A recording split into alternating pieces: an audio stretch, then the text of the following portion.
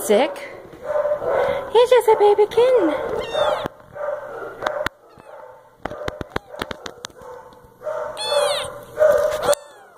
What are you doing?